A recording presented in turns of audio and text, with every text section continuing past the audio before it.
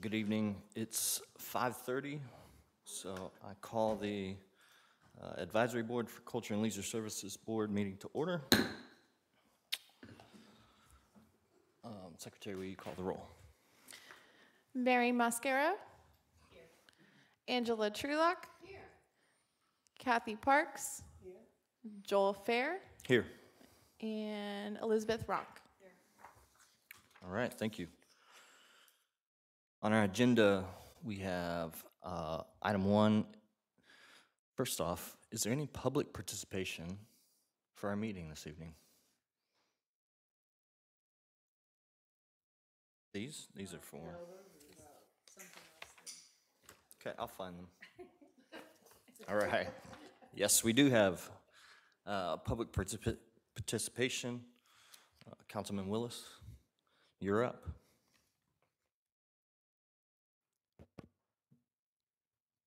Good evening. Thank you. Uh, Just wanted to briefly say how much I appreciate your work, what you're doing, and your sacrifices to be doing this job. Believe me, I know how tough it can be. I know that you probably hear some things you don't appreciate at times, but I want to thank you for what you do. I want to thank you for putting yourselves out there and continue the good work. Thank you. Thank you very much. That is a great way to start the meeting. Thank you. All right, um, has any- everyone had a chance to look at the agenda? Okay. Any discrepancies with the agenda? If not, would anyone recommend that we approve the agenda as is? All right. Okay, uh, motion made by Kathy Parks to approve the agenda as is, seconded by Betsy Ronk. All in favor? Aye. All right. Has Everyone had a chance to uh, review the minutes from our meeting in January on the 25th? Any issues with those minutes?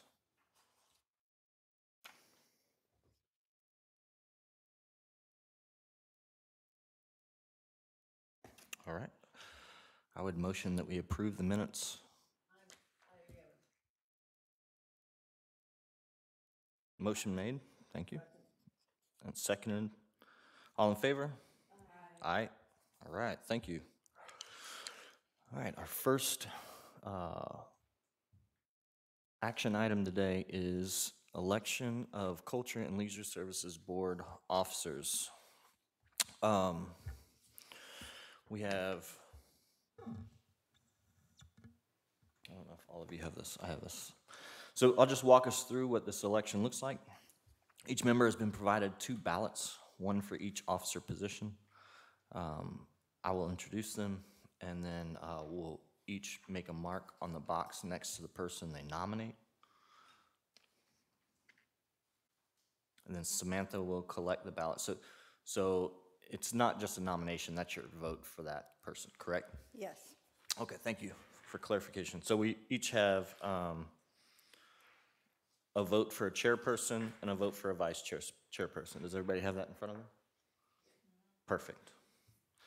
Uh, So I'll introduce who we're voting for. We'll each mark them. We'll turn them into Samantha. Um, She'll organize them by the board member with the most nominations to the least nominations. And then, uh, then we'll go through the process of asking the person with the most nominations for that position uh, if they accept the nomination, and then go down the line. It Says if the nominee declines, the board can either revote or start the process over, or the chair can ask the member with the second most nominations. Any questions about that? Thoughts on that? Okay. Um, Well, for the election of Cultural Leisure Services Board officers, we have two officers. Um, So the first one that we'll do is we'll vote for, vote once for the chairperson nomination. So if you have that in front of you, we're doing the chairperson nomination. Hopefully, everyone has a writing utensil. So just make your vote, and then we'll turn it into Samantha.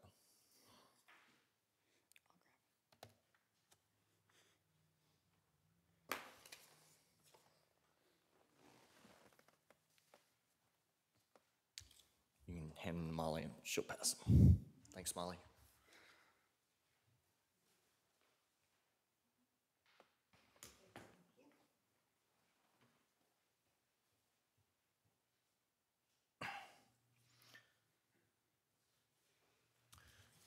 We want to do this one completely all the way through and then do the second one, or do the second one now? What, what would be, your advice be? Um, it would probably be good to do the chairperson first. right, and then- Because that way somebody doesn't end up with both jobs Perfect. accidentally. Sounds excellent. All right, let's do that then. Everyone has their ballot turned in, correct? All right. Samantha, when you get a chance, will you read off the results of the ballot? Um, The person with the most nominations.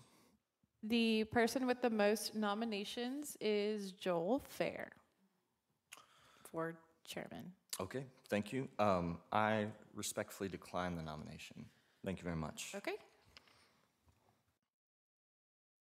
Who had the, okay, so now, at this point, board, we can either go with the person who had the second amount of votes, or we could re-vote. Um, It's, I think it's up to us, so what would you recommend? Revote? Everybody okay with the revote? Perfect. Perfect, thank you.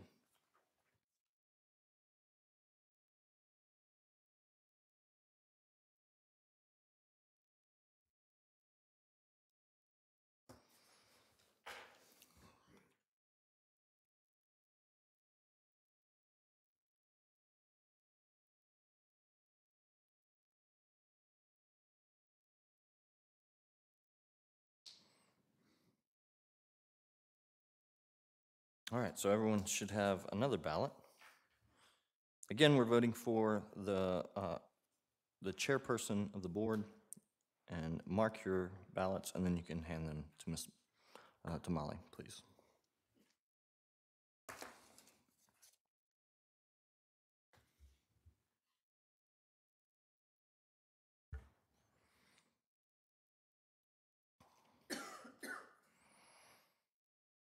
Do we have all the votes turned in? Excellent. Secretary, if you would read off who has the most votes, please.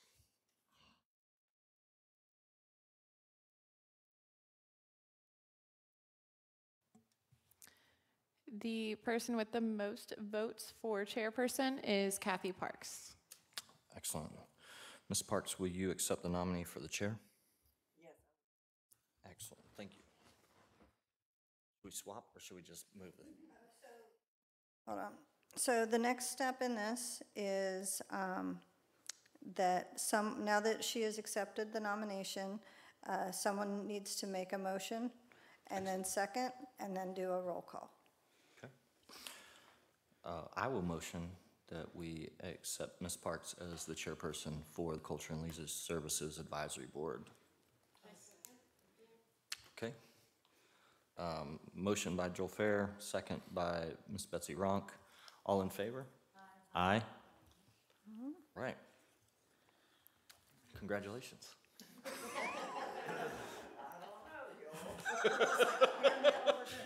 Here's your. So this also effectively means that Kathy, you are no longer uh, eligible for the chair. So um, to save the musical chairs, if you want to just uh, slide your gavel over. Very important.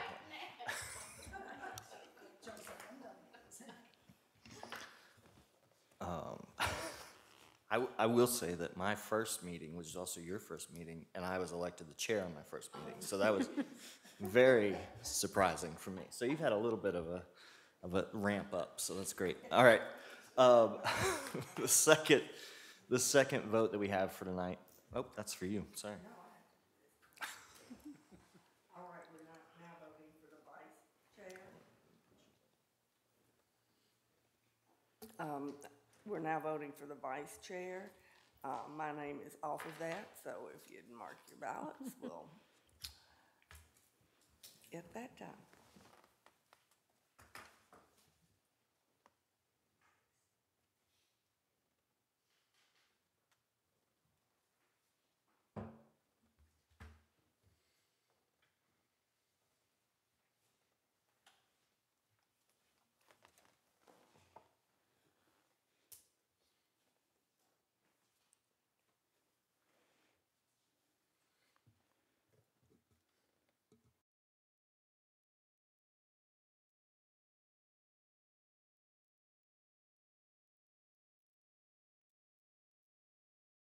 The vice chairman nominated was Mary Mosquera. Do you accept? Congratulations. Do you accept the nomination? Yes, I accept. Right. I would make the, make the motion for Mary Mascaro to take the position of vice chair for the board. All in favor? Aye? Done. We're making Molly work tonight.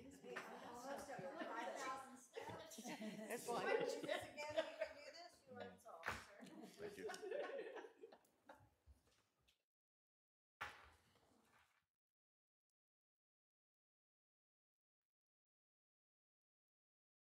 it looks like the next thing on the agenda is to review the proposed fee schedule for non-partner league use of the courts at Nancy Hanson Recreation Complex and make a recommendation to city council. And we are looking at paperwork that she just gave us.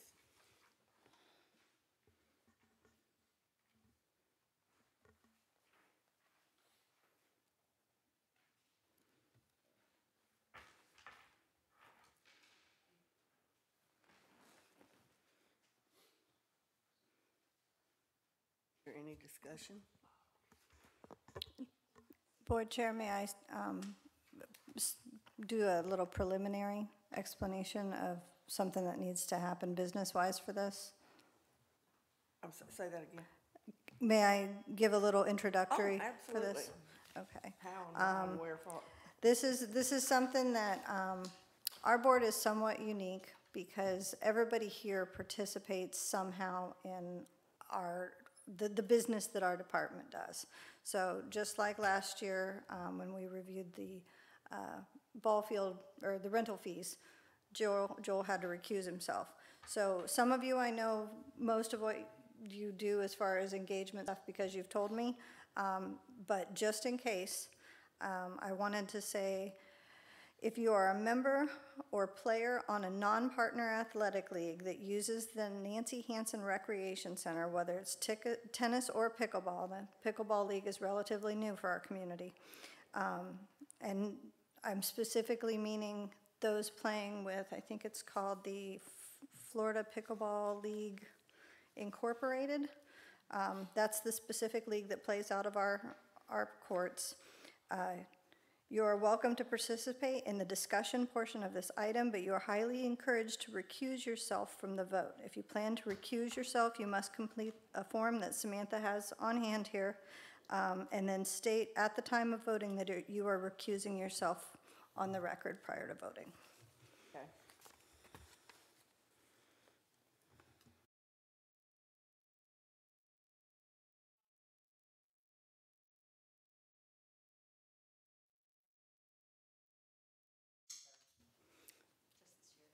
This year. Yes, they just ended their second season. Oh, they did? So they must have started in the fall. Yes. So the, the, this revenue is pretty much annual, I mean, it encompass the same time period as the tenants.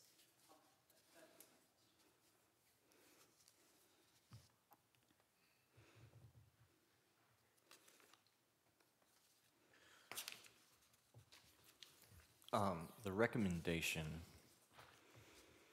for the revision uh, of the fee is what from staff? That's what I'm trying to find out. With looking at the, the revenue so far, and it's kind of difficult because um, you'll notice that I, I couldn't really use the fiscal year.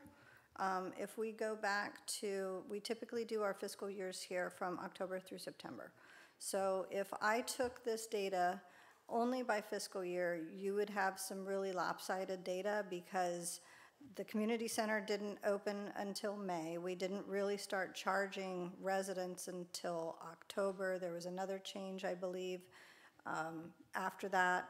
And with some of the other things, we don't have a full scope. The only thing that we have a full one-year snapshot on is the changes that have happened at Nancy Hansen. And it's kind of hard to tell uh, from just the numbers alone. Um, But the income between March of 2022 and February of 2023, which is the best, most up-to-date snapshot I could give you guys with the date of our meeting, was uh, $46,499 and change. And the current year, March 23rd through uh, February of 2024, that's at, oh, sorry, this is the C5, um, is at $75,133 and change. So the growth of that is very, very similar to the growth of the Nancy Hansen. And in the same corresponding years, 22 to 23, it's a little over 17,000. And for 23, 24, it's a little over 32,000. So there's a lot of growth there. And I cannot 100% attribute it to the fee schedule change because we're also getting more people playing and, um, especially at the C5, more people that are, are learning about the facility and, and using it. So there's a lot of variables involved.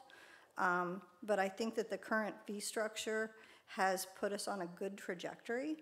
Um, I've brought both facility managers here. They're welcome to come up and speak and answer questions. Um, If you'd like to know the, the feedback that they get at the front desk when, when they tell people the price, because sometimes that's, that's pretty telling.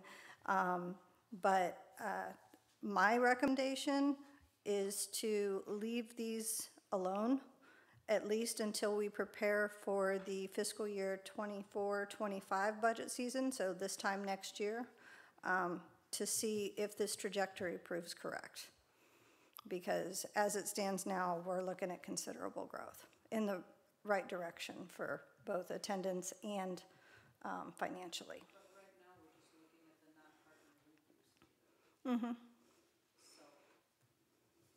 I guess my question on that is, I know that, oh, oops. Oh, sorry.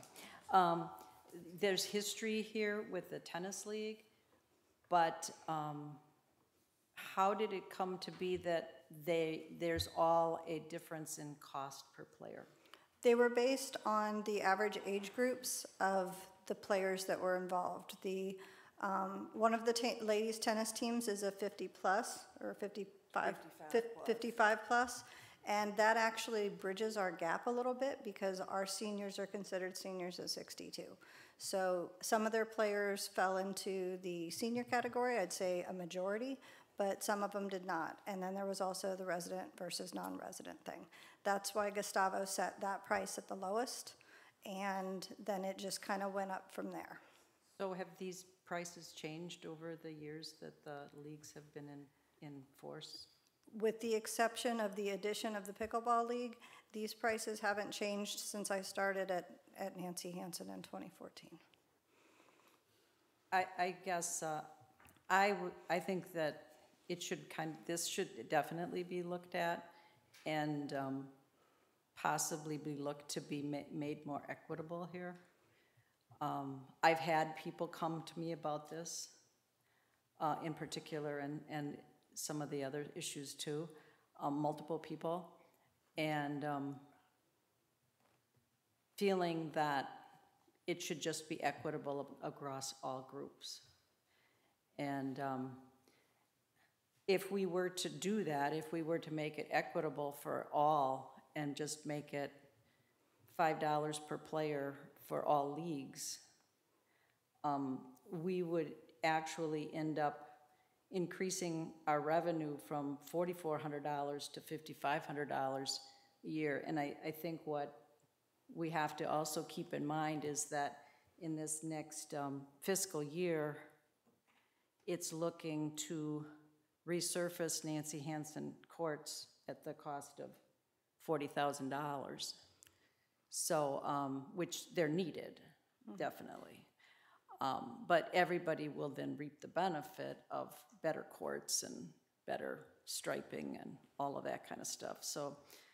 Um, or if we decide, you know, five dollars is too much, then at least make it equitable, everybody pays four dollars or whatever. Um, I, I think it's really hard to, when it's not a, it's a non-partnered, it's not a league that is a city-sponsored issue.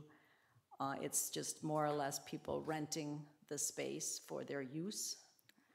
Uh, it, it, then they should all be treated the same, I guess, is my theory. Not, it- it shouldn't really depend upon how old the person is. If they're renting the space, they're renting the space. Chair, may I speak to that? I have a question. Um, Yes. As we think about pickleball being uh, more expensive than tennis, just from a cost per player aspect, is that due to um, length on the, on the court? Is that due to um, more demand for pickleball use? And so we can, because there's a higher demand, we can make it a higher cost? Um, Or, Marcy, can you come up to the podium yeah, and speak? to that? Marcy, that would be fantastic. Yeah. Thank you. Yeah, Yeah. the, the- the pickleball didn't really blossom until after I was already out of that department, so she's my resident expert, literally resident. Yep, w- if you wouldn't mind just giving us some history to uh, both tennis and pickleball use at Nancy Hansen and why we would maybe have a discrepancy in the cost? Sure, well, like Molly stated, when I started with the Nancy Hansen, the tennis fees were already set. And I do, um, I did approach her about, as we were building both tennis and pickleball, are we gonna keep the fees the same? And here we are today. Um, Florida Pickleball, this is for the state of Florida, is a new league.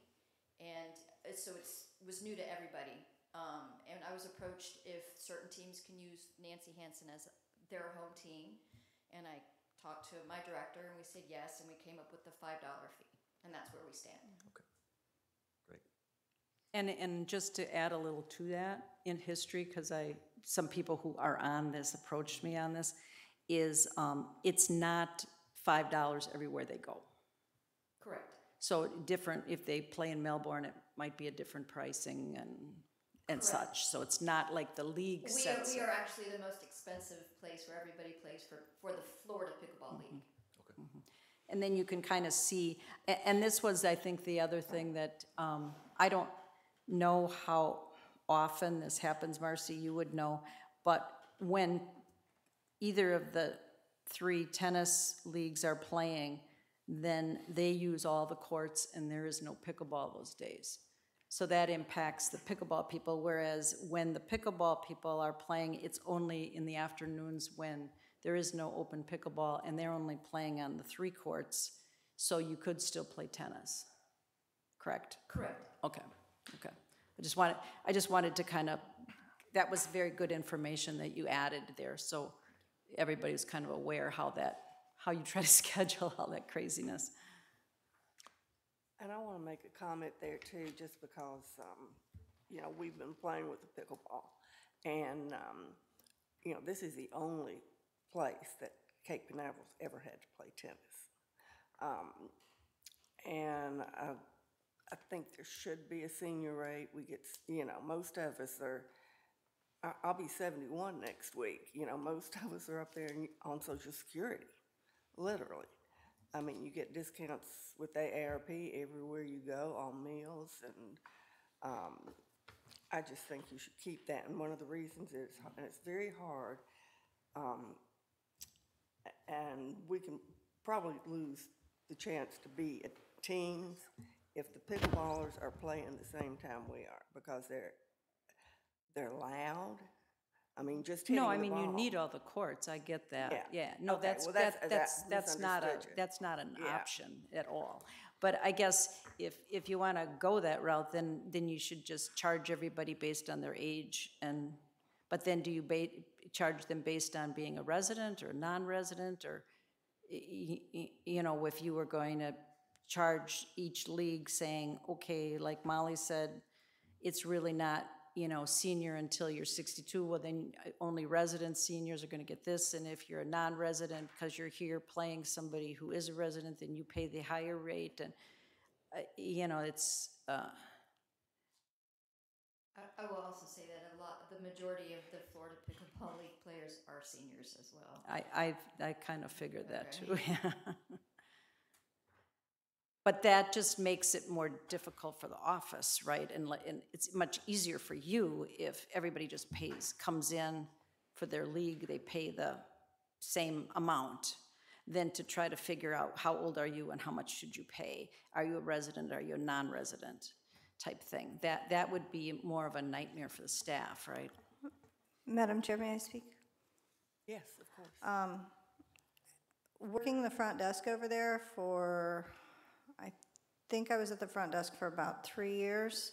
Um, There is nothing more confusing than when the tennis, a, a new season of tennis um, with, I think we formerly had a USTA league, and then the, the Spacettes at the time, um, when they didn't know who their opponent was, because they typically, when they come in, they pay for themselves and their opponent. If they didn't know their opponent's age and residency status, they're standing there looking at me like I'm crazy.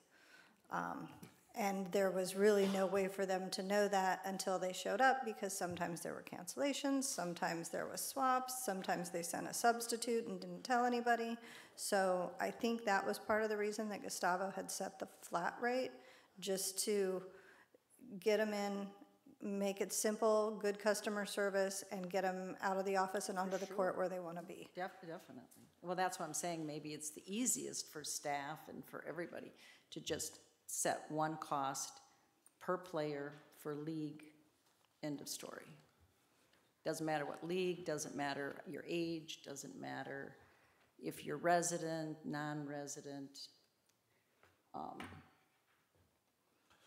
It, it could be easier. It could also lose uh, the revenue that you are getting from uh, the, the seniors that are playing right now that would not play. So, I mean, you're, it's, I think you're right. I think if we're just talking about ease of staff, that's the way to go. I'm not sure that that's all we're talking about. Um, My other th- question for you, Ms. Ronk, was you said forty thousand dollars for refinishing. Is that on the fiscal year twenty-five budget? 24, 25, this next coming year, yeah. Um, Fiscal year '25 starts in October, correct? The Okay. 24, Yep, 25. we've already started getting quotes, and at this point, um, we're looking at two, two separate options. And it'll depend on, uh, council's input. Um, when I get, when John and I get to the reports, I'll talk about the upcoming CIP meeting. Um, if you ever have time to kill on Google Earth, uh, look at the Nancy Hansen and play with the slide rule on the years. And I can tell you every year that the tennis court has been resurfaced. And within a few months, if you slide that rule over, it goes from perfect to weird shadow on court five. And that weird shadow on court five is a, a depression. Um, we took advantage of uh, an opportunity in planning for the um, stormwater components of the, of the Civic Hub. And I asked uh, the city manager if we could do a geotechnical evaluation, which if you've been on the courts and you see these weird little holes, that's where they bored down. The uh, prevailing thought was that there was a, um, an artesian well. Um, I don't know if you know, but you are now living in what used to be the town of Artesia, named for its wells. Uh, We didn't confirm that that was what was under there, but the geotechnical survey did say you have a problem. So uh, the last time these courts were redone was in 2016. The depression appeared back via satellite image within six months. Um, And now it is to the point where uh, they put like a mesh coating over top before they put the asphalt and the, you know, the colored components and the lines. You can see the fibers. And, yes, you can. they're getting slick. Yep, That's and dangerous. it, it is, um, uh, right now, it's a little bit less than a quarter of an inch, um, but it, it needs to, to be repaired properly, it needs to have that section cut out. Uh, whatever is causing this depression needs to be addressed, so that'll require some excavation. And then beyond that, uh, it'll need to be put back and resurfaced. So forty thousand is the number for resurfacing. The other number will be much higher. So uh, we're kind of, you know, hoping that council will give us some guidance on which the way they want to take it, and um, we'll go from there. The, the numbers you were sharing earlier, Ms. Ronk, about, uh, you did some math. If you were to level out the cost per player at five dollars per person, you said that was about a seven hundred dollar change in the annual revenue? No, it's a eleven hundred. Eleven hundred dollar change, okay. Yeah, I'm just, I'm thinking that eleven hundred dollars is, is good. Um, it's still just a drop in the bucket of forty thousand, so, or more. Um, and if, if we were to, to actually lose, um, some of the revenue because we changed, we raised the price for seniors, that could be, uh, Well, I damaging mean, to some I of the guess it culture. just comes down to if you want to give seniors a break, then give Mm-hmm. all seniors a break. I mean, one way or the other, or split the middle and go for four dollars because adult residents pay four dollars to play now anyway, so, um, so maybe just make it four dollars for everybody. Especially since tennis hasn't raised their prices in ten years. Um, in this day and age, I, I don't think that's unreasonable to ask another dollar or two dollars or whatever in over ten years' time. One more question. That's per day, correct? That, that charges per day, not per game per day? Okay, Per, per the, per that Per- day, per that- Cost per visit, yes, player, per day. visit. for that time that they play. thank you. Is there any other discussion? Motion? And I'm recusing myself here.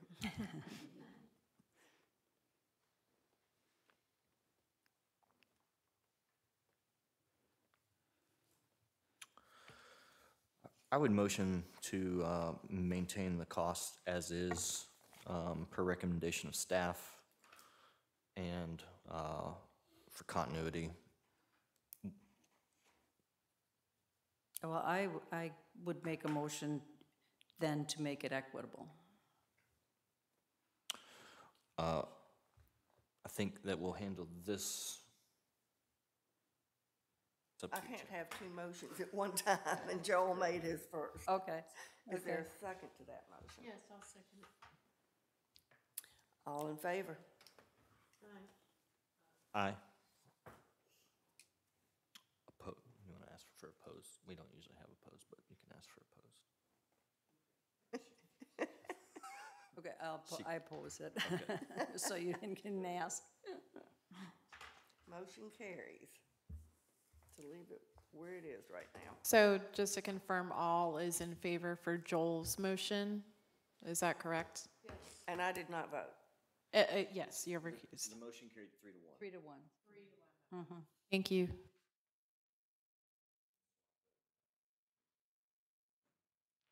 Okay, we're ready for staff reports. Uh, actually, No, this we didn't. Or do we have another? We have another issue. Oh, wait a minute. schedule.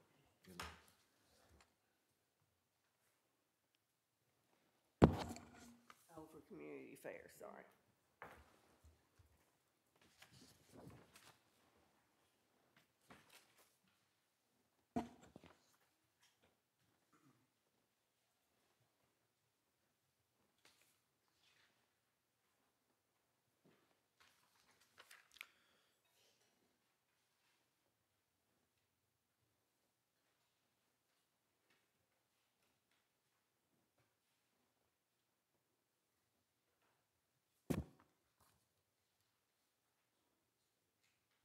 Is there a recommendation from staff on this one? This would be another one where I would say keep it the same, at least for another year, just for the consistency's sake, to see if it produces, continues to produce an upward trajectory in data. I, I have one question, and this has been brought up to me multiple, by multiple people in the community, and I think Marcy could probably speak to this very well, and that is the number of, well, the, the, what people tell me, okay, non-resident people, pickleball players, who are not paying. And, and that is very common, that they just don't go inside and pay.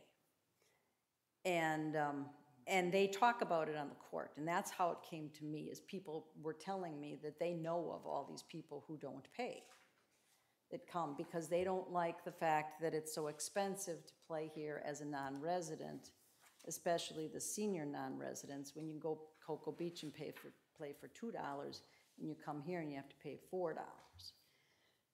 And so the question that people have brought up to me, which I, I know we've brought up once before and discussed, the logistics could be, had to be, would be, have to be thought through, is to somehow fence off that and make all the people go through, and like they do at this, you know, C5, where everybody's very, has to pay to get in.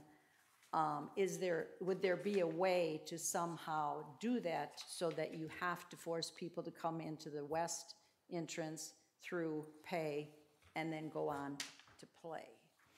Interesting that you've mentioned that. Um, We've discussed that a couple times, um, especially in the last like year and a half. Uh, That has been a battle. Um, Also, if you have uh, time to kill, you could go around that facility and count how many signs I have made that are still up there that say, please pay before you go in the court. Eventually, I stopped putting please. Um, That has been a challenge since the day I started. Uh, When this became a little bit more, when the courts got busier, it got even harder to control. And we have brought that up. It'll be something that I'm gonna have to work with our building official on and our fire department because we can't trap people inside the courts. And right now, um, the back sides of the gates are usually locked. Um, so we will actually have to come up with a way, um, because people are smart and people remember how you got in the movie theater when you were a teenager. So we would actually have to find a way to allow egress out without people letting friends in the back door. So it's uh, definitely something that's been discussed. If that's something that you would like staff to look into further, you can let us know that. Um, But definitely that has been a challenge for us since day one. And once upon a time, people would come in and tattle, and that was very helpful, but eventually that stopped, so. Well, and- I think, uh, you know, I, I, just doing some easy calculations on the number of people, I've asked around to people, like, how many people do you think on a regular basis play pickleball? But it's hard to know because people are coming and going all morning, you know. Luckily, at least now, they're supposed to pay once, you know, doesn't matter how long you stay and play and all that. But the dollars just aren't, aren't there. There, you're not making the money for the number of people that are playing in a daily basis, because um, I've had people now counting more or less throughout the morning to see how many people are really playing and people who know people coming and going. And they're saying on a daily average, there's probably at least fifty or more people who come to play pickleball. And so that's like two hundred and fifty plus people a week, and you're not making that kind of money on pickleball people. Um, I'm, I'm sorry if I may speak up. Uh, Oh, Are please you, are do. you saying is you've been told there's at least fifty people that are on the court that have not? No, no, not, uh, no, not that don't pay, I'm just saying overall. You know, like from the time that you start uh, open in the morning through, let's say, one o'clock, when most people are kind of like leaving, not playing too much in the afternoon. Um, some of the people play a couple hours and leave, and other people come and go and blah, blah, you know, all that kind of stuff. But, but people who have kind of um, counted at different times throughout the day to see how many people are there. You know, if you've got five courts or six courts going with four people, that's 24 people, and you've got at least 20 people waiting, right there, you've got 45 people on the court at that time. And that's a very common occurrence, especially at this time of the year. So that's why they're kind of saying, well, to say that you'd have 50 people in a day coming is not an unusual number, at least during this heavy season, I think is where these people are coming up with these numbers. And yes, the people telling me this are Cape Canaveral residents because they're not happy because they know a lot of these people, because they play here a lot, are from Cocoa Beach. And they feel like, you know, I'm paying my money because, you know, I get a good rate, or that, a lot of them say they get a monthly um, membership because it's a good deal. And it's really not that bad of a deal if you got a monthly membership as a non-resident either, but when there's no way to monitor, it's like Molly says, you know, people coming in, sneaking into the theater, they realize nobody knows. There's so many people coming and going out there. I mean, even if you sat out there, you, you would never figure it out. And it's sad, I guess, it's a very sad thing uh, when they tell me this, because I just feel, I trust people maybe more than you should, that people talk about it even. I mean, they're as brazen to talk about how, well, no, I'm not gonna pay, you know, six bucks to come play here, or, you know, a day, or I'm not gonna pay four dollars a day because that's a ripoff. I, you know, so-and-so only charges two dollars a day or whatever. It's like, well, then go play there, you know, and some people get, yeah, it's even gotten kind of testy out there, I guess. Uh, and that's the only reason I bring this up, is, is if we, if there could be, an- again, and I know we've talked about it in the past, if, if, if they could look into a better way to logistically figure that, you know, that would be, My new catchphrase is control the space. pardon? Control the space. That's Yeah. one of the challenges that we face at a lot of our facilities, our events, our parks, being able to control that space without literally putting eight-foot fences around everything um, is, is definitely a challenge. And But, unfortunately, you know, this becomes, it, it is one of the nicer places outdoors to play pickleball in the area, hence the reason it attracts so many people. Um, a- And it's unfortunate that you can't capture the adequate revenue, you know, to support that. That, that's all I'm saying. May I ask you a know. question?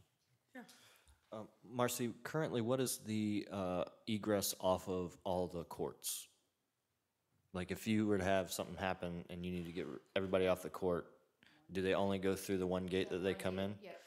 Um, is there a possibility, like these breaker bars on these kind of doors, I've seen them on gates also. If we were to install some of those, then you've got one-way access for emergency evacuation, right? That has a spring, closes it itself, but no one's ever gonna have any issues with, uh, emergency evacuation at that point. What And- about those things that, I've seen it some too, where they, you know, they kind of go around? Turnstile? The- Yeah, and, but you can't get back in, you can But only that's, get out. that's not actually great for emergency evacuation. 'Cause You get four people in one of those and it's not good. yeah, we have talked about the, the, the push-button door, or the, like you said, breaker bar door, um, because that, that has been an issue in the past. Um, Historically, the fire department actually pulls up on the side of um, Fillmore.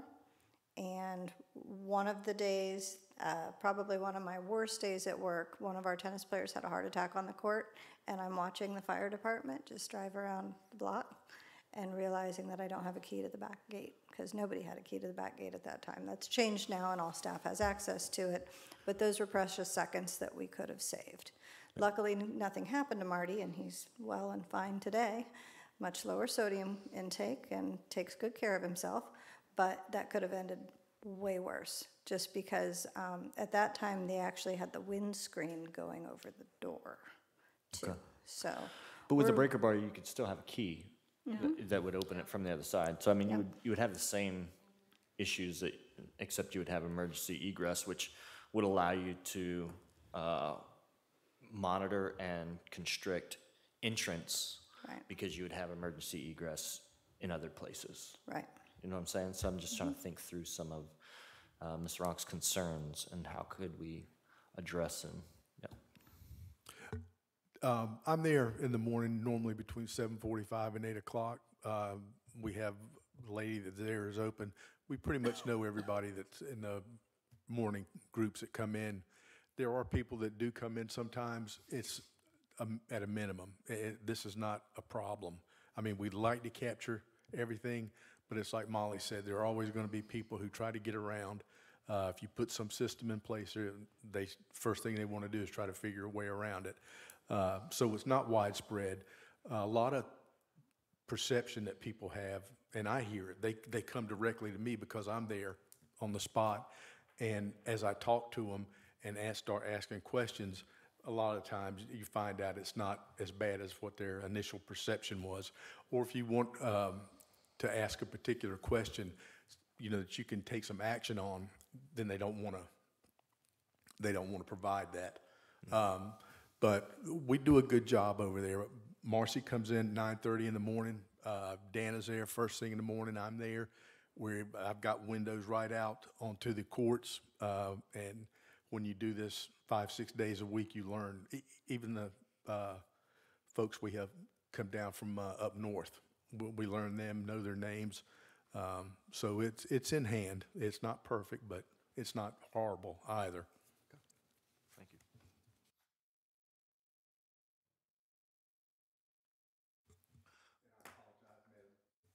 I apologize, Madam Chair, for not asking to speak first. I'm sorry.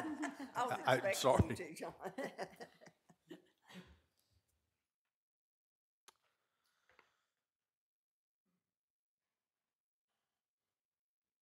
Well, I guess- guess it gives some thought to, you know, um, what we've talked about for so many years to see what possibly could be done. Joe's got a good idea there too, and, you know, That's something we can price out for the upcoming budget. yeah. Can I ask you another question? Yes. I'm, I'm looking for a fee schedule for non, um, league use of Nancy Hanson. Or, or, sorry, uh, you have the fee schedule review and, and revenue data for the C five and for the pavilions and for the ball fields, but I didn't see one for Nancy Hanson, um, at least printed out. Maybe it was on the electronic one. Yeah, it is. But, um, She gave us one too. She gave us a copy too. where did I s- I've got so many. I'm sure we're in.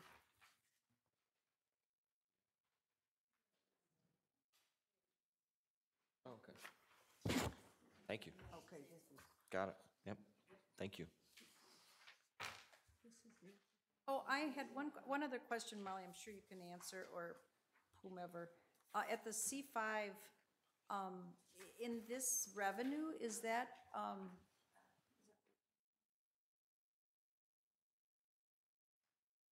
Thank you. is that just the regular memberships, or does that also include those uh, people who get like the silver sneaker thing? Or Uh, are they- are they in a different category?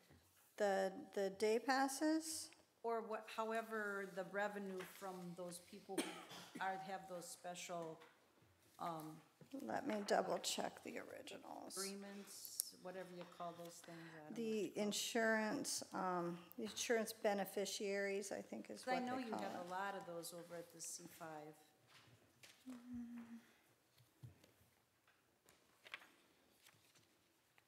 I just didn't know if they fell into a different category or not, or,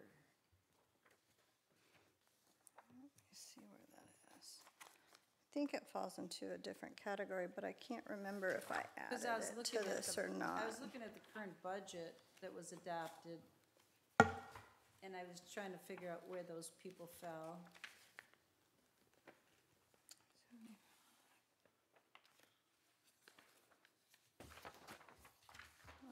So the seventy-five, one thirty-three number does not contain that revenue. Let me see where, if I brought it with me. Field rentals.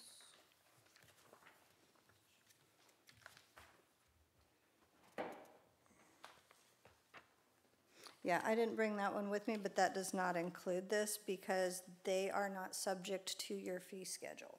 Right, right, and, and so, you, well, I was just looking at the current budget. I think Line the- items, and I wasn't sure where they fell, that, I was just curious. So they, the amount that that has brought in from all three is in addition to the seventy-five thousand one hundred and thirty-three and change. Um, the insurance benefit revenue is twenty-five thousand one hundred and forty-three dollars and change. And then, and then as far as the classes, is that what falls under the contractor fees? Independent contractor fees? Do they pay a fee, a percentage of their? They pay take? twenty-five percent. They pay, they pay the facility twenty-five percent of what they take in. They pay from- the city twenty-five percent. Pardon? They pay the city twenty-five percent of Right, their I mean, income. that's what I'm saying, is they pay twenty-five percent based upon how many participants are coming to pay them. And what those participants pay. Right, they set their own, Yes, ma'am. and that's what's called the independent contractor fees are for Yes. those classes. Okay, that's what I thought.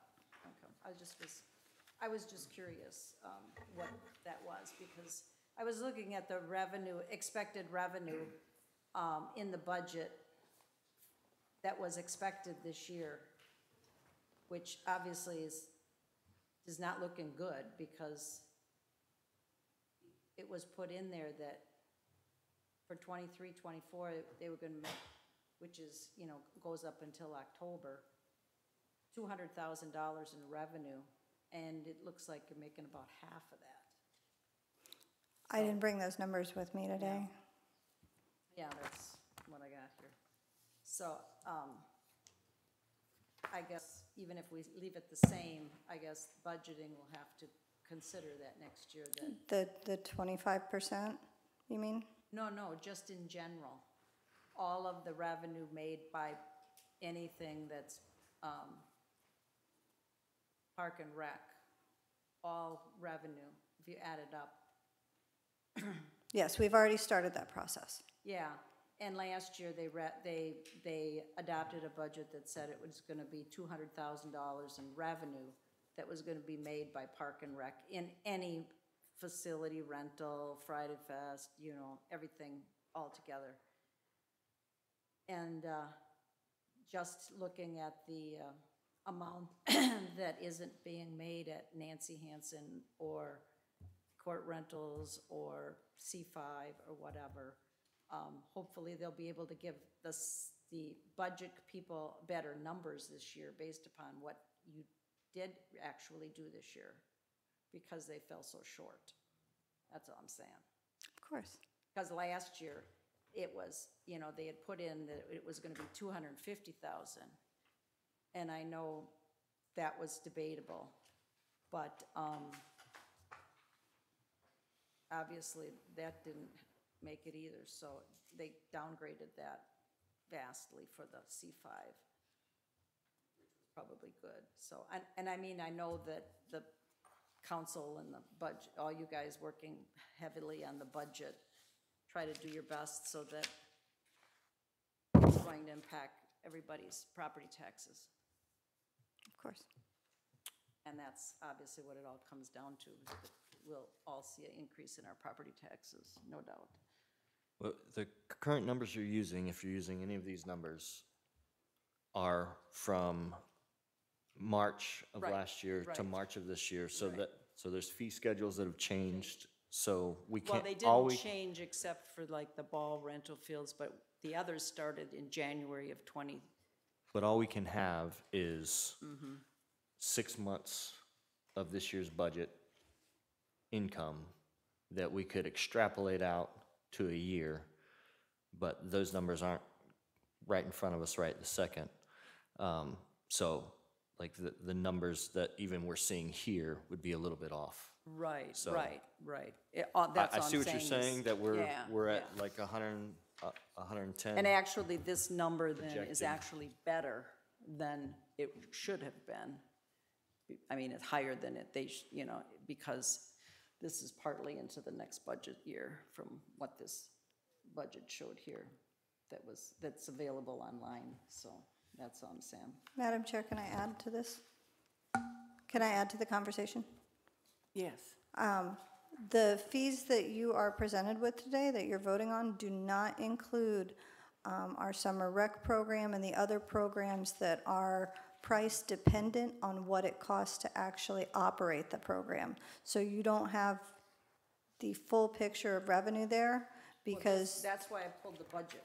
right, Because that shows like athletic, you know, The income, camp leagues. registration, all of that, you know.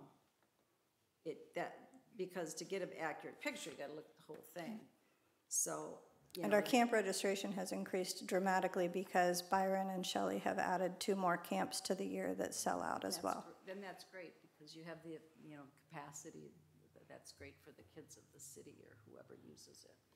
So that's good, because it should be able to be fairly self-sufficient. Camp registration should be able to, you know, pay for itself in, uh, in, in the fees that they charge for the personnel that run it. You know, so that's a great thing. So, um, I mean, I, I would say, I agree, let's, we should keep the uh, fee schedule the same as it's been. I think we did a good job at coming up with, you know, Do you want to make that motion? I, I would, I would like to make the motion that we just leave the fee schedule the same through, um, I don't know what would be a good cutoff time, you know, because in order to make a recommendation for the council or for the budget process to occur, you know, you're asking for it now in March, but we never can have the data for a full fiscal year, if you really want to look at it from a fiscal perspective. So if we leave it the same, then come November 1st, we would have a full fiscal year's data of this, of this fee schedule. At which case, then I think in the winter, we'd have more time to look at it and say, um, this is good, bad, and, and give a little bit more time for us to um, give them a better recommendation to see, you know, how well we're doing. Okay, so you, just to make sure I understood, um, the suggestion is to leave it like this um, for the fiscal year period of, I've been doing so much budget fiscal year stuff, I'm getting myself confused. For fiscal year 24, 25, um, and then for, say, the October meeting of this year, I can bring forward our, um, our full fiscal year scope for all the, all the properties, and then you make a recommendation to council in preparation for budget year 25, 26? Is that what I'm getting? Unless it looks like, from the data that you bring forward, that the numbers are really not good, and we're really, in it, the budget is not gonna look good, in which case then there might have to be again, like we did the one time, a change to change the fee schedule come the January first of twenty-five. But that would really be, I would think, more of a recommendation from the council or something to say, you know, we're expecting more revenue than we're getting from this situation, considering the expenses for Park and Rec is one of the largest, you know, areas here. I think I pulled it up, that it was $2.3 million for Park and Rec expenses. So, um, and we're only making two hundred thousand dollars, so that they might say, we need, we need to look at, relook at that fee schedule, I don't know. That's on them. We take our guidance from whatever council needs, I guess, but, yeah. So I would say let's just leave, like, take your advice and leave it as it is until we have more data. And you did make that motion? I did make that So we motion, need yeah. a second? All in favor? I, I'm recusing myself from the vote uh, for the same reason that I recused myself from Uh, yeah, all of you're- these. You're technically part of the broader fee schedule, yes. so. Yes. I, I just have one question for you, Joel, because you, you know the whole base, the whole b- s- baseball thing. There's no revenue for this year since last summer. We've only had one rental. So, di- oh, but because the league pays in a different way, is that? Li- it? The Little League, um, our city-based Space Coast Little League does not pay. Uh-huh. Oh, they They're, don't they're a community partner, but they, in all honesty, as Joel can attest, they do pay because they do come out and assist with field maintenance and they Okay. run an I, amazing. I wasn't, I, I wasn't sure, because I, I saw that there is some, it says athletic league income, and I wasn't sure if that meant from Little League or if that's a different thing. No, that's, that is the city-run leagues Okay, for pickleball, tennis currently, it. and uh, Okay. Byron's working on basketball as we speak. got it. I thought maybe it included, um, Little League too. Okay, we're ready to move on to the staff reports. Mr. Mayberry? Or Ms. Molly? Thank you, Madam Chair. Uh, We are in the final phase of completion with the Patriots Park renovation. Uh, We're down to waiting for our last load of mulch to be uh, blown in, probably tomorrow or the first of the week, and have that done. We've got the um, new benches and uh, picnic table that Molly ordered. They're there, so then we've got to get those placed. She and I went out and did a walk around this morning and uh, decided where everything was going to go. So that's close to wrapping up there. And then if you haven't, if you get a chance just to ride by there and look at the new playground equipment, it's, it's nice. It- it- Just try to ignore the car wash that's going up next to it. Uh, and you might want to wear a mask with the dust flying. um, we completed the um, Manatee Sanctuary Park, the restroom uh, renovation that we were doing over there. The guys just, we have two faucets left to replace, and Molly and I are talking about uh, putting new light fixtures in to kind of keep it in line with uh, everything else. But the guys went in, they stripped the old paint off the walls. They got, it wasn't muriatic acid, but it was something like that, that they put on the floor and that caused it to etch and then went back in and uh, resurfaced and repainted them and did a, really a bang-up job. Uh, Everybody's, you know, if you can be happy about a bathroom, they're happy. Uh, Much nicer looking, so. Uh, The ball field, baseball field, we're, uh, we should be finished with our part of replacing the old lights with the new ones either tomorrow or Monday. Um, Excuse me, it won't be tomorrow because we have uh, something that they ha- are dedicated to take care of tomorrow for Saturday. Uh, So yes, probably be the first of the week. Uh, The only thing we've got is there's the one pole that has the transformer next to the dugout on the east side of the field. Um, Our staff's not allowed to go near that, so I'm in talks with electricians now to come out and replace those fixtures on that one pole for us. Um, But the only thing we'll have left to do after the guys finish is to go out in the evening and um, do your, I call it fields of fire uh, with the lights, so we make sure we got coverage in all the right areas. Um, We have the Easter egg hunt that's coming up this Saturday. Uh, It was rescheduled from last weekend because of the weather. Um, Nancy Hanson, we are working on um, replacing lights on the um, pickleball courts right next to my office window, um, so Marcy can start running her night leagues over there. That's been an ongoing thing, but we've finally got a contract that's coming to take care of that for us. Uh, Veterans Park, uh, Molly will speak to that in more detail, I'm sure, but We have uh, ordered the flagpole, the new flagpole today. Uh, Should be here like six to eight week lead time. Hopefully that'll coincide with the completion of the project proper. And We'll be ready to go at the same time. Um, And with all that, that I just, you know, uh, once again, I always want to take an opportunity to remind everybody, all that's done with two guys and an occasional hand from uh, Public Works Department, but ninety percent is done with just two guys in there. Uh, I'd like it on the record how much we appreciate them and what they do.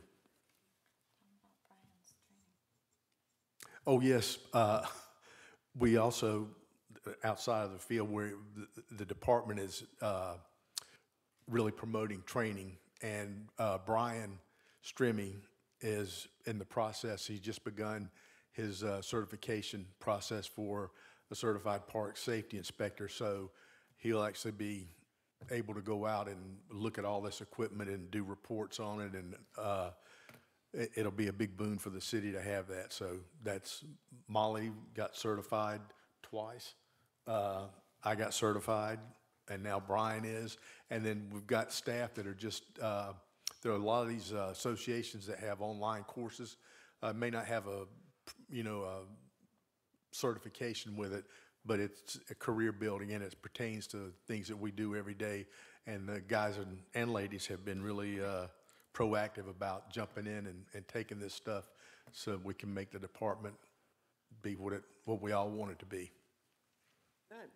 Can I ask you if anybody's looked at the playground equipment at uh, Manatee Park? At Manatee Park? Yes, ma'am. We actually just got the uh, parts in to, um, because I know like the round swing bottoms. Yeah, there are a bunch of things that are dangerous. they, well, that's, that stuff is repaired now. Good. So uh, we had mulch blown in there, got it filled back up, and um, it took a while because the parts that came with the uh, equipment originally, they don't use those anymore. Now there's a workaround. So it was a hassle getting all that stuff together, but it, it's all been taken care Well, of. thank you. I'm glad to hear that. Yes, ma'am. Okay. Molly? So I will start by piggybacking off of what John ended with, with the, the training. One of the things that, um, one of my goals for, uh, it's gonna be a multi-year process, so we'll say fiscal year 24, 25, is to get our, um, our Parks and Rec Department accredited by the National Parks and Rec Association. It's called a, a CAPRA certification my brain's fried, so I'm not even gonna try that acronym, but it has Parks and Rec and accreditation in it, I promise. Um, Some of the things that we're doing um, with my uh, Certified Park and Recreation Executive uh, Certificate that I attained uh, the, the, what I did, day before New Year's Eve? Yeah, that, that last week of December. Um, Him getting the CPRP, which is the next step uh, before the CPRE, the Certified Parks and Recreational Professional. Um, Also, both of, two of our three facility managers have completed their facility, uh, recreation facility management program, and then adding the playground inspector to our team uh, through Brian's certification will put us on track to get accredited. And if we are successful in this, we will be the only accredited Parks and Recreation agency in the county to include the county, because the county is not accredited either. But um, it's pretty, it's, uh, it actually involves multiple uh, municipal departments. A lot of this stuff um, is actually handled very much by our risk management. It's the development of emergency plans, development of safety training and protocols, um, in addition to um, using best practices for program operation, for outreach, for inclusivity, um, and of course, maintenance, safety standards, and then having everybody um, stay up to date with their professional development and do annual CEUs. And with uh, National Park and Recreation Association, a lot of their stuff is incredibly affordable because it's it's better for the interest of the public for people to to to understand the importance of their roles in their service to the community. Um, so th- the most expensive certification you can get through them is, I think, four hundred and fifty dollars. Um, And some of the, some of the trainings and webinars are even free or 15 to $20. So we, we take advantage of that. The city has always been uh, an RPA um, participant, so I look forward to uh, getting that accreditation for the city. Um, Beyond that, um, Saturday, I hope all of you have cleared your entire calendar. Um, If you have not been out to Veterans Park, um, obviously still under construction, but you're, you're able to kind of see the beginnings of the finished product. And if you want to get on the other side of the construction tape, you can be there at 8 o'clock AM on Saturday, and you can help them put plants into the smart rain garden portion of the project. Um, uh, That will go on until 10 o'clock, and then you will need to um, go home and change if you need to. But the grand opening for the um, uh, Cape Center is, starts at 10:30. If any of you guys wanted to come up and speak at that, just let us know. Um, Our, our program's pretty loose, pretty casual. Uh, It'll be very similar to what we did with the community center. Um, I was able to get the peacock cupcakes again. Um, There'll be refreshments, um, there'll be, uh, we have a couple council members that are gonna get up and speak. And then we have a lot of our partners, some of our um, contractors that were active in the project, W and J Construction and ESA Solar will be there. The Brevard Zoo, um, because they were so integral in helping us get the Bold Boards exhibit, they will be in attendance as well, so we're excited to have them. Um, and yeah, this is, it almost doesn't seem real. I feel like I've been talking about this in circles since 2016, but um, uh, it'll be, uh, it'll be a good time. And uh, we'll have a lot of our community partner and our community arts partners there, including uh, one of our newest instructors. Um, And that ends at 10, uh, that'll be over at 12 um, then you'll need to hurry over to Canaveral City Park for the egg hunt at two. There is a brief lunch break. Um, As you know, that is like uh, the Kentucky Derby, it's the fastest 15 minutes in the city. Um, So that, that shouldn't take you too long, but Byron's made some changes to it. Um, One of the main reasons that we really wanted to um, postpone it last, from last week was in the interest of not having destroyed pink Easter dresses with ball field clay, because that doesn't come out, as Joel can probably attest. Um, Next up is April 1st. That'll be Coffee with a Cop. Um, Councilmember Willis it has, uh, helps organize this with BCSO. If he has not come to a park near you, just wait. Um, But the next one will be out at Banana River Park on April 1st. Um, I don't have the time for that, so I'll have to circle back to you guys uh, when I have the calendar in front of me. 9 AM? Right, straight from the source. Um, Next up after that, and this will be an important one, um, if you are able to come, this is the CIP workshop. Um, For those of you who have been around the city for a long time, we used to do an annual strategic planning. Last year's strategic planning was uh, done somewhat in conjunction with the visioning project, so it was above and beyond thorough. Uh, Council decided we didn't need to re-strategize at that point. We just needed to move forward with uh, the, the mission and the vision and the values that we identified so that we can properly prioritize projects and the budget based on the, what, what we really want to accomplish for, for the community and its future. So that will be here in the council chambers at 1 PM. And we will be, we and multiple other departments will be sharing um, the future and proposed planned um, projects and initiatives with council for their consideration and recommendation. I believe the agenda went out for that today. Um, Next up, uh, recent staff activities. I I don't know if you noticed, but um, the conversion to the .gov has begun. We can finally fit our emails on a form. We're all excited.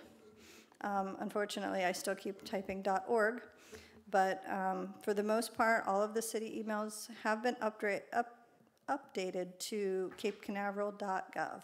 We were very lucky because we didn't even have to include Florida because we were confirmed as the only Cape Canaveral. So they didn't like my Ohio suggestion of saying the Cape Canaveral, but we were trying to reduce letters.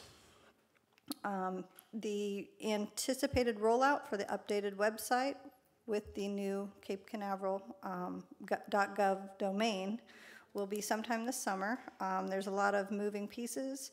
Um, I'm, I'm kicking myself on certain things because now I have to change every single login for everything I do, but um, I keep telling myself it's worth it at the end. Um, Next up, we, State of the City. Um, We are updating that. That should be complete by the upcoming CIP workshop. There's a lot of moving pieces with that one, but fingers are crossed we'll have that done. And then a quick preview for the May meeting. We will have board member interviews. Um, As you can see, uh, Mr. Holmes is not with us today. He welcomed a new grandchild and with that, new responsibilities. So uh, when he approached me and told me that he might not be able to make a good majority of the meetings, I said, go, go, go do you. Like, this isn't, this isn't more important than a new grandbaby. So he submitted his resignation about a week and a half ago. And um, that leaves now two vacancies on this board because uh, city council did not vote on the recommendation for Ms. Raymond. So if um, you know of anybody that uh, is interested in getting involved, we're not the only board that has vacancies. So encourage them to reach out to the clerk's office or hop online and get an application, just same place you found them at, and uh, submit their applications so that we can get a, a good pool of, of people that, that are a good fit for all the respective boards. I believe um, Community Appearance has at least one vacancy, and I think Board of Adjustment has one too. Um, Yep, we have multiple applications already on file, so um, we will probably um, do a ballot system similar to what we did tonight um, to help streamline the process for that. And then last but not least, uh, Samantha and and Amy provided two flyers. One for facility and uh, event volunteers. Um, Those are definitely needed. That's, um, we, we don't want to create a situation where we're relying on volunteers, but we do want to give people an opportunity to give back if they're interested, and an extra set of hands, an extra set of eyes, an extra opinion even sometimes is, is always welcome. So if you know of anybody that has availability or they're just looking to get involved, um, there is a level one background screening involved, which the city will, will cover the fees for. Um, but please get that out there, share it with your condos, share it with your neighbors. Um, we'll, we're very eager to have um, a little more engagement. We have a couple applications now. Um, We even have a seasonal resident that will be back next year that filled out an application. She's like, I'll be back in December, you can call me then. I'm like, okay. But I'm just glad that she's interested in doing that when she's trying to take a break, you know, for her, for her holidays. Um, Next up, uh, and this will be something that we will probably be bringing back to you for a formal recommendation, uh, hopefully in May. Um, As you can see, the community garden has had a slight change of scenery. And John and I, as he mentioned, uh, took a walk out there and based on the current level of construction of that car wash, the whole back, whole south side of the um, garden will no longer get morning sun, at the very least. Um, When they were out there doing the construction, there was concrete dust everywhere. Um, If you have a plot out there, I would recommend rinsing thoroughly. Um, They're not done with the construction, so once the construction is complete and we see the impact of that space with an active car wash in front of it, we're probably gonna need to make a decision. And that would be to either eliminate the garden, move the garden, or reimagine the garden in probably a different location. Um, So we put together a survey. It's got a couple basic questions that are geared towards um, what community gardens serve as a, a purpose in other communities, successful gardens.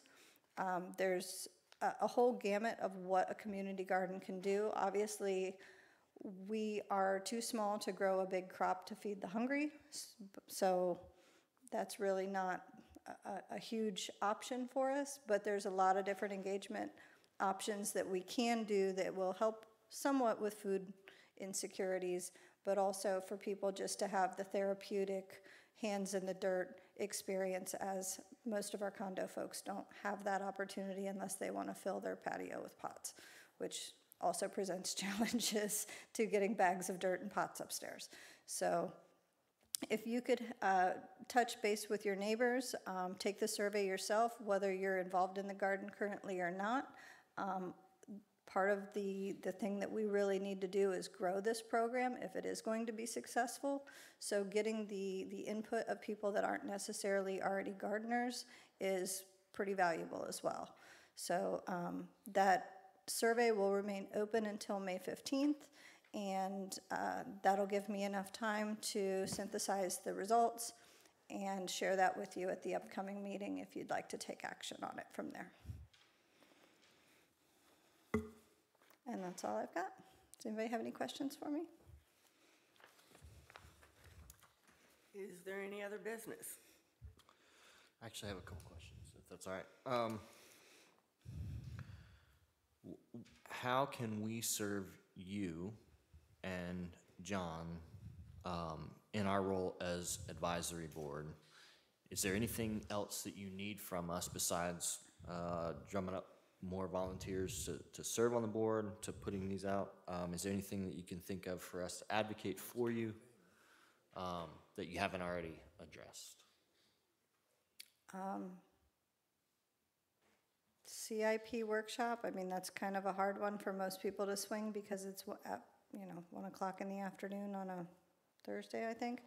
Um, Engagement, yeah, and e- engagement in that is, is important, but also, um, yeah, the, really the, the volunteer thing is big. And, and we don't, we don't, we won't ask a ton from our, our volunteers because we understand that, you know, people are busy and, and it's difficult and it's hard to commit and, um, we just, you know, a couple hours a week or a couple hours a month would, would help us. I mean, even something as simple as sitting in a chair and carding people at Friday Fest and putting a little wristband on. Something like that can, can help immensely because a lot of our, um, we call them celebrity beer tenders, are also from uh, volunteer nonprofit organizations, and they're fishing out of a shallow pool too.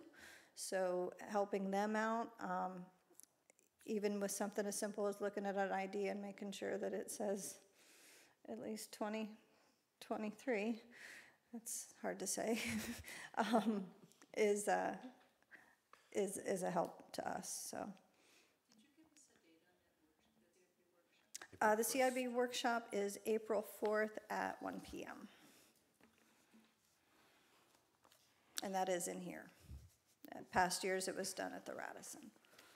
Uh, Another question I have would be, do we intend to maintain this schedule for voting for chair um, and, and positions? Because all of our terms end in October. Um, Would you recommend continuing to have that um, vote happen in March? Or would you want this to coincide with the end of someone's term? Do you- do you see what I'm saying? Like, I'm trying to figure out how we could get back on schedule, because I know we're a little bit off. That's something um, that I think this board has the ability to recommend to council. Um, The code, once I reviewed it, says it's supposed to happen in January, but that doesn't really make much sense either. Um, It would make sense to me for it to be, you know, your, your term expo- expires October 1. Um, This board does traditionally meet in October at the end of the month.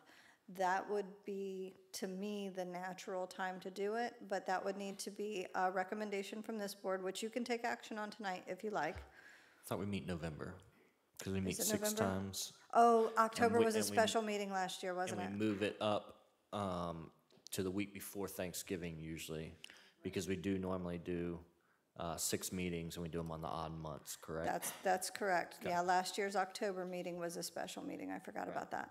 So, isn't out at the same, ev- ev- the whole board isn't not for the same year, but for the same, The date, same date, and so, different, different times, yeah. correct. Um, But if you'd like to make a motion that it, that take place at our November meeting to be a little bit more in line with getting new people, onboarding them, Yeah, the only other thing I was thinking is you could stick with the January meeting, and if for some reason the chair or if the chair rolled off, um, the vice chair would just convene for that meeting. Um, and so I think if we maintain January, but we just don't want to set a new precedent saying March. But if you, if we said January, we're going to continue to vote for our, our, um, uh, board positions, then that would probably be, which w- we wouldn't even need to make a motion, because that's currently what it says, correct? yeah. Perfect. Last question, sunshine laws. Um, I'm bumping into an issue where I don't know if I can talk to my councilmen because of the way that some of the things are, um, because I'm sitting on this board, but I'm also a resident. And so I'm just trying to find clarity on like, how do I, as a resident, get to talk to my councilman if I, if we're both on boards? Um, and because some of the things that I submit to council, then they vote on. Right. And so I don't wanna, I don't wanna cross any, I don't wanna break any sunshine laws. Right, And I'm, I'm trying to figure that out because, um, yeah, obviously, this last meeting, there was a lot of, a lot going on at city council. right. And, and there's also an election coming up too. Correct. So obviously, Correct. there's, there's a lot of, um, it, it's, the sunshine law is tricky in Florida. It's as vague as it is specific. Um, the one thing that it really does focus on is whether the conversation that's happening outside of the public chambers is connected to something that either party or both parties would have to vote for. So say you're approached by your council member and they're campaigning, per se, um, you would probably not be on the good side of sunshine to immediately start discussing things that this board has to, um, has to vote on. And the directive from the clerk's office is that if um, a board member has a matter of business that they would like to take to council or go over and, and share their thoughts with council, to do so at a public meeting as opposed to reaching out to them directly. Um, and that just keeps everybody out of hot water, um, because it is, it is technically a criminal offense. And that makes it really challenging when you're in a tiny little town and everybody's voice matters. And it's just easier to run into people and, and talk to them, but we still have to be on the up and up when it comes to where that happens. And any other clarification on that, um, the Daniel or Mia in the clerk's office can, um, they, they, they can repeat that stuff in their sleep. They probably do. Okay, thank you. Um, could we get vacant, uh, placards for any vacant seats that we have? So that if someone were watching a meeting that we have, they would very clearly see that we have two vacancies. Um, and that would be one of the ways that we could communicate that. Um, I like that. So Well, if- That'll, that'll be ready for the next meeting. Right, because I, I think that right now it could look like we're a board of five, but if we had vacant placards, it would be very clear that we're a board of seven with two vacancies. Yeah, I like that. I'll, I can, yeah, I'll share that at our, um, at our next meeting. Um, the, the director that has all of the rest of the boards, uh, poor guy is Dave Dickey. So, um, I think that would be helpful for him because he's had as much of a challenge over the years keeping all of his boards as, as we have with this one when it t- comes to, you know, having everyone seated. But that would also help, um, from a video perspective, if there was just a legitimate absence and that person's name could still be up there, but they could see, okay, it's still a seven-member board, that person's just out today. So, very good idea. We'll, we'll have that done by the May meeting. And are we gonna rename the board? We bounced, we threw that around a couple times. I don't think we have to, but, You don't have to. okay, perfect. That's Sorry. anything else? Or do I have a motion to adjourn? motion to adjourn? I second the motion. All in favor? Aye. Bang the gavel. Motion. Meeting is adjourned.